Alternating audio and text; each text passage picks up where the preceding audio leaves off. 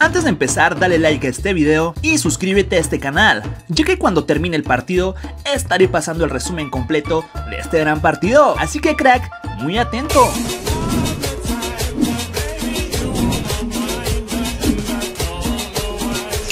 ¿Qué tal amigos? ¿Cómo están? México y Guatemala se enfrentan en un partido amistoso.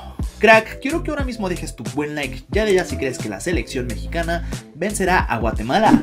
Quédate hasta el final de este video, te diré cómo ver este partido totalmente en vivo crack, pero antes suscríbete a este canal y una vez que te hayas suscrito activa la campanita de notificación y poco después pega tu buen like.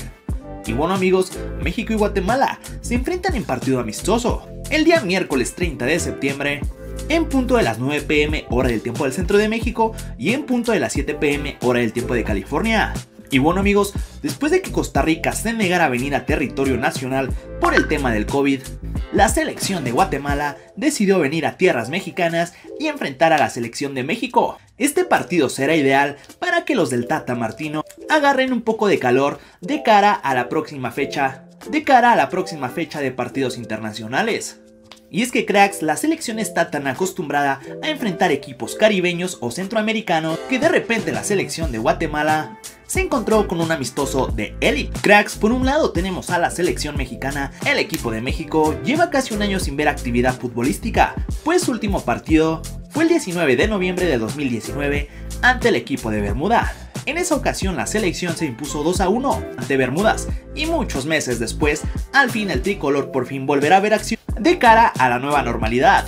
Cracks, como recordaremos, la selección mexicana tenía varios partidos en el mes de marzo y en el mes de abril, pero como todos sabemos fueron cancelados por el tema del COVID. Cracks, el Tata Martino en esta ocasión convocó a jugadores que principalmente militan en la Liga MX. Pero amigos, esto podría cambiar de cara al segundo compromiso que tiene la selección mexicana, que será el próximo mes ante la selección de Holanda.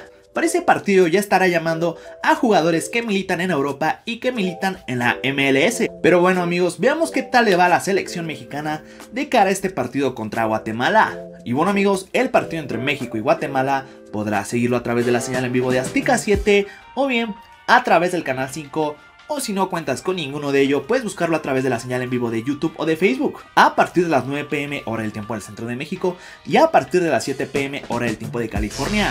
Cracks, hemos llegado al final de este video, si te gusta no olvides pegar tu buen like y comentar, y nos vemos para un próximo video.